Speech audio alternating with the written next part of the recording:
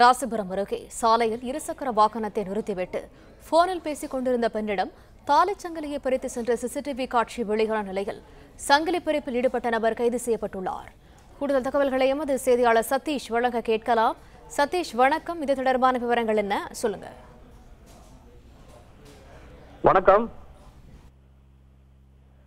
ராசிபுரம் அருகே சாலை சாலையில் சென்ற பெண்ணிடம் முகவரி கேட்பது போல் இருசக்கர வாகனத்தில் வந்த மர்ம நபர் மூணு பவுன் தங்கச்சாங்கிலி பறிப்பு சம்பவம் சிசிடி காட்சியின் அடிப்படையில் தற்போது போலீசார் அதிரடி நடவடிக்கை எடுத்துள்ளனர்.